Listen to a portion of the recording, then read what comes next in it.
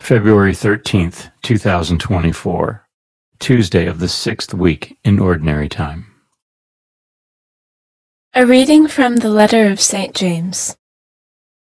Blessed is he who perseveres in temptation, for when he has been proven, he will receive the crown of life that he promised to those who love him.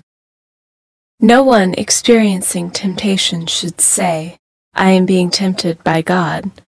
For God is not subject to temptation to evil, and he himself tempts no one.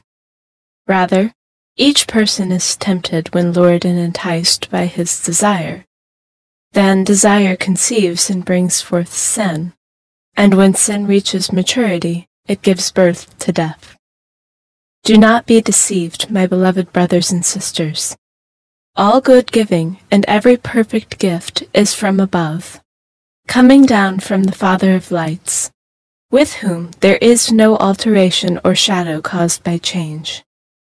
He willed to give us birth by the word of truth, that we may be a kind of first fruits of his creatures. The word of the Lord. The responsorial psalm.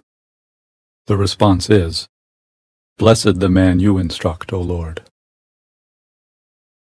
Blessed the man whom you instruct, O Lord, whom by your law you teach, giving him rest from evil days. Blessed the man you instruct, O Lord.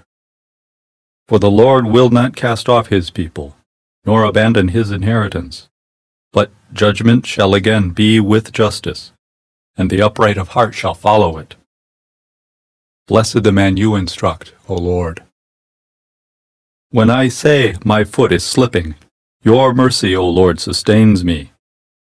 When cares abound within me, your comfort gladdens my soul. Blessed the man you instruct, O Lord. A reading from the Holy Gospel according to Mark. The disciples had forgotten to bring bread, and they had only one loaf with them in the boat. Jesus enjoined them, Watch out, guard against the leaven of the Pharisees and the leaven of Herod. They concluded among themselves that it was because they had no bread. When he became aware of this, he said to them, why do you conclude that it is because you have no bread? Do you not yet understand or comprehend?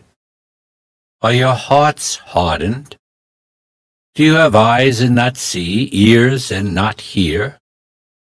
And do you not remember when I broke the five loaves for the five thousand, how many wicker baskets full of fragments you picked up? They answered him, Twelve. When I broke the seven loaves for the four thousand, how many full baskets of fragments did you pick up? They answered him, Seven. He said to them, Do you still not understand? The Gospel of the Lord.